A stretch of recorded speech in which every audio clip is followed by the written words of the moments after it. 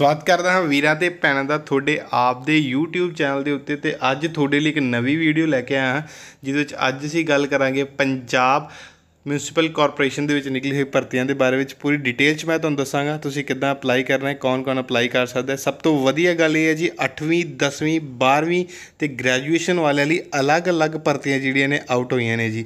ਮੈਂ ਤੁਹਾਨੂੰ ਪੂਰੀ ਡਿਟੇਲ ਦੱਸਾਂਗਾ ਵਿਦ ਅਫੀਸ਼ੀਅਲ ਨੋਟੀਫਿਕੇਸ਼ਨ ਸੋ ਬਣੇ ਰਹੋ ਸਾਡੇ ਚੈਨਲ ਦੇ ਉੱਪਰ ਤੇ ਸਾਡੇ ਚੈਨਲ ਨੂੰ ਕਰ ਲਓ ਸਬਸਕ੍ਰਾਈਬ ਤੇ ਬੈਲ ਬਟਨ ਦਬਾਉਣਾ ਨਾ ਭੁੱਲਣਾ ਤਾਂ ਕਿ ਕੋਈ ਵੀ ਨੋਟੀਫਿਕੇਸ਼ਨ ਤੁਹਾਡੇ ਕੋਲੋਂ ਮਿਸ ਨਾ ਹੋ ਜਾਵੇ।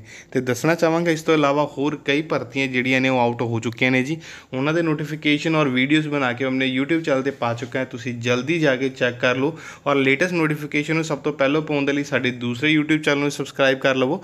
ਉਸ ਦਾ ਲਿੰਕ ਤੁਹਾਨੂੰ ਇਸ ਵੀਡੀਓ ਦੀ ਡਿਸਕ੍ਰਿਪਸ਼ਨ ਦੇ ਵਿੱਚ ਮਿਲ ਜਾਏਗਾ ਜੀ। ਤੇ ਚਲੋ ਹੁਣ ਅਸੀਂ ਗੱਲ ਕਰ ਲੈਂਦੇ ਹਾਂ ਜੀ, ਜਿਹੜੀਆਂ ਭਰਤੀਆਂ ਆਊਟ ਹੋਈਆਂ ਜੀ, ਸਭ ਤੋਂ ਪਹਿਲਾਂ ਗੱਲ ਕਰਾਂਗੇ ਅਸੀਂ ਜਿਹੜੀਆਂ ਪੋਸਟਾਂ ਆਊਟ ਹੋਈਆਂ ਨੇ। ਸਭ ਤੋਂ ਪਹਿਲੀ ਪੋਸਟ ਹੈ ਜੀ ਕੰਪਿਊਟਰ ਆਪਰੇਟਰ ਦੀ, ਜਿਹੜੀ ਤੁਸੀਂ ਦੇਖ ਹੀ ਪਾ ਰਹੇ ਹੋ ਜੀ। ਇਹਦੇ ਵਿੱਚ ਦੋ ਪੋਸਟਾਂ ਜਿਹੜੀਆਂ ਨੇ ਉਹ ਆਊਟ ਹੋਈਆਂ ਨੇ। ਇਹਦੇ ਵਿੱਚ ਗ੍ਰੈਜੂਏਸ਼ਨ ਵਾਲੇ ਪਲੱਸ ਕੰਪਿਊਟਰ ਸਰਟੀਫਿਕੇਟ ਜਿਨ੍ਹਾਂ ਕੋਲ ਹੈਗਾ ਆਈਐਸਓ ਸਰਟੀਫਾਈਡ ਉਹ ਅਪਲਾਈ ਕਰ ਸਕਦੇ ਨੇ। ਨੈਕਸਟ ਹੈਗਾ ਜੀ ਸੈਨੇਟਰੀ ਸੁਪਰਵਾਈਜ਼ਰ ਦੀ 6 ਪੋਸਟਾਂ ਨੇ ਗ੍ਰੈਜੂਏਸ਼ਨ ਵਾਲੇ ਕਿਸੇ ਵੀ ਸਟਰੀਮ ਵਿੱਚ ਜਿਨ੍ਹਾਂ ਨੇ ਕੀਤੀ ਹੋਈ ਉਹ ਅਪਲਾਈ ਕਰ ਸਕਦੇ ਨੇ। ਨੈਕਸਟ ਹੈਗਾ ਜੀ ਪੇਮੈਂਟ ਕਲੈਕਟਰ ਦੀਆਂ 7 ਪੋਸਟਾਂ ਨੇ ਟੋਟਲ ਗ੍ਰੈਜੂਏਸ਼ਨ ਕਿਸੇ ਵੀ ਸਟਰੀਮ ਦੇ ਵਿੱਚ ਜਿਨ੍ਹਾਂ ਨੇ ਕੀਤੀ ਹੋਈ ਉਹ ਅਪਲਾਈ ਕਰ ਸਕਦੇ ਨੇ। ਉਸ ਤੋਂ ਬਾਅਦ ਹੈਗਾ ਟਿੱਪਰ ਸੁਪਰਵਾਈਜ਼ਰ ਦੇ ਲਈ ਦੋ ਪੋਸਟਾਂ ਨੇ 10th 12th ਵਾਲੇ ਜਿਹੜੇ ਪਾਸ ਨੇ ਪੰਜਾਬੀ ਦੇ ਵਿੱਚ, ਉਹ ਇਹਦੇ ਲਈ ਅਪਲਾਈ ਕਰ ਸਕਦੇ ਨੇ। ਜੀਸੀਬੀ ਆਪਰੇਟਰ ਵਿੱਚ ਦੋ ਪੋਸਟਾਂ ਆਊਟ ਹੋਈਆਂ ਨੇ ਜੀ।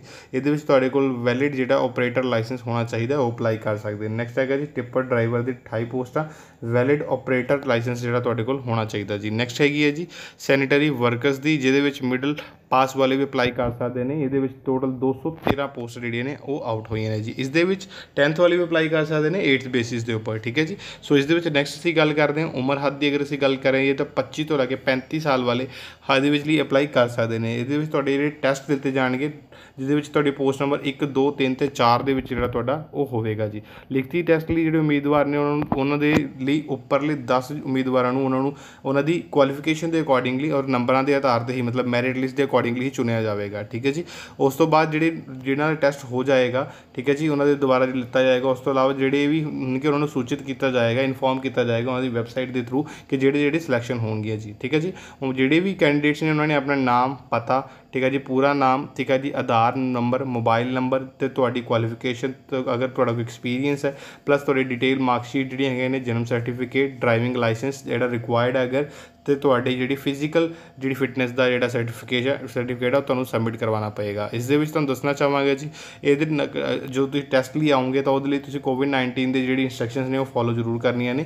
ਔਰ ਇਹਨਾਂ ਸਮੇਂ ਨੂੰ ਵਧਾਇਆ ਤੇ ਘਟਾਇਆ ਵੀ ਜਾ ਸਕਦਾ ਹੈ। ਉਹ ਤੁਹਾਡੇ ਵੱਲੋਂ ਜਿਹੜਾ ਹੈ, ਉਹ ਉਹਨਾਂ ਦੇ ਵੱਲੋਂ ਕੀਤਾ ਜਾਏਗਾ ਟੀਮ ਵੱਲੋਂ। ਔਰ ਛਾਂਟੇ ਜਿਹੜੇ 10 ਉਮੀਦਵਾਰ ਹੋਣਗੇ ਜੀ, ਉਹਨਾਂ ਦੇ ਨਤੀਜਾ ਜਿਹੜਾ ਵੈਬਸਾਈਟ ਇਹਨਾਂ ਨੇ ਦਿੱਤੀ ਗਈ ਵੈਬਸਾਈਟ ਦੇ ਉੱਪਰ ਦਿੱਤਾ ਜਾਵੇਗਾ ਜੀ। ਠੀਕ ਹੈ ਜੀ? ਔਰ ਦੱਸਣਾ ਚਾਹਾਂਗਾ ਜੀ ਦੀ ਲਾਸਟ ਡੇਟ ਜੇ ਅਪਲਾਈ ਕਰਨ ਦੀ ਹੈਗੀ ਹੈ ਜੀ ਹੋਏਗੀ 18 9 2020 ਦੁਪਹਿਰ 3 ਵਜੇ ਤੱਕ ਜਿਹੜੇ ਇਹਨਾਂ ਦੇ ਅੰਬੋਰ ਦਫ਼ਤਰ ਦੇ ਵਿੱਚ ਤੁਸੀਂ ਦੇ ਸਕਦੇ ਹੋ, ਜੋ ਕਿ ਨਗਰ ਨਿਗਮ ਅੰਬੋਰ ਦਫ਼ਤਰ ਕਮਰਾ ਨੰਬਰ 12 ਦੇ ਵਿੱਚ ਤੁਸੀਂ ਜਮ੍ਹਾਂ ਕਰਵਾਉਣਾ ਹੈ ਜੀ।